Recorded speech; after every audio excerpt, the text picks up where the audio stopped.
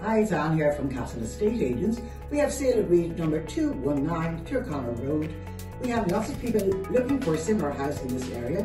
So if you have a house or know of someone who has a house who's thinking of selling, please contact us.